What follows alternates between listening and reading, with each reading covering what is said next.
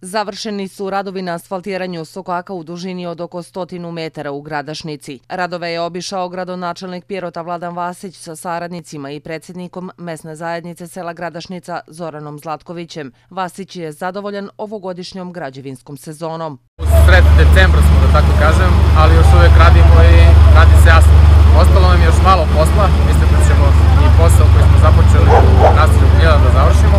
A što se tiče Gradašnice, da li treba ili ne treba da ali smo zaista puno pomogli. Od pristupnog puta do uvođenja kanalizacijne mreže u svim delovima naselja Gradašnica koja nije imalo kanalizaciju, do pomoći mesne zajednice za obnovu crkve, za obnovu škole, za uređenje dečjeg igrališta. Evo već treću godinu za redom širimo asfalt. Idemo asfaltiranje i ka samom izvorištu Gradašnica i u Sokacima. Evo sad u jednom Sokaku koji je dosta predstavljao probleme kada padne velika kiša.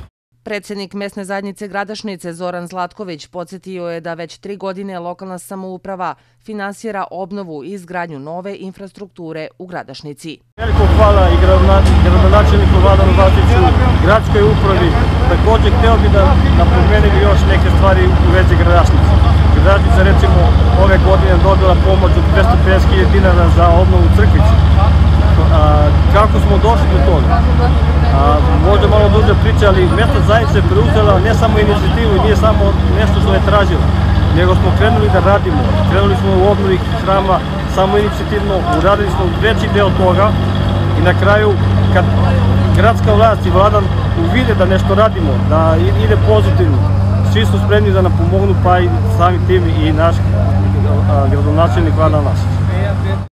Gradonačelnik Vasić je najavio nastavak saradnje sa mesnom zajednicom sela Gradašnica i dalja ulaganja u ovo selo.